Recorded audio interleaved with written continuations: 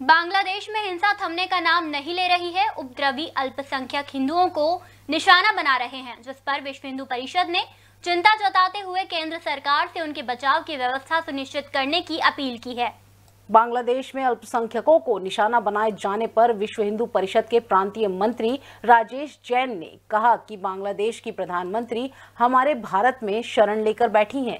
बांग्लादेश भारत का अंग रहा है, लेकिन वहाँ पर हिंदुओं की स्थिति को सुनकर रोंगटे खड़े हो जाते हैं। इतनी बड़ी घटना हो रही है, हिंदुओं का नरसंहार हो रहा है। उन्होंने कहा कि विश्व हिंदू परिषद केंद्र सरकार से मांग करता है कि बांग्लादेश के हिंदुओं की सुरक्षा के लिए तत्काल उचित कदम उठाया जाए। विश्व हिंदू परिषद हर स्तर पर मदद के लिए तैयार है।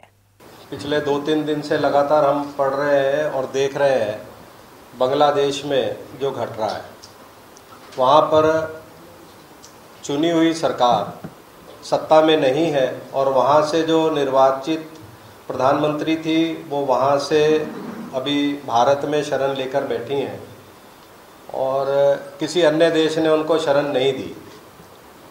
बांग्लादेश, क्योंकि भारत का ही अंग रहा है, और वो आज जिस स्थिति में है, उसकी कल्पना मात्र से ही रोंगटे खड़े हो जाते हैं। जो उनके साथ घट रहा है, इतनी बड़ी घटना हो रही है, इतने हिंदुओं का वहाँ पर नरसंहार, हिंदू मंदिरों को तोड़ना, हिंदू परिवारों को लूटना, उनकी अस्मिता लूटना, ये सब होने के बाद, ये ऐसे मानवाधिकार वाले जो संगठन है वो कहाँ है तो विश्व हिंदू परिषद केंद्र से भी मांग करता है कि हमारे जितने भाई वहाँ पर हैं उन सबकी सुरक्षा का जिम्मा भी हमारा ही बनता है Rabindranath Tagore University Bhopal, NIRF ranked for five consecutive years.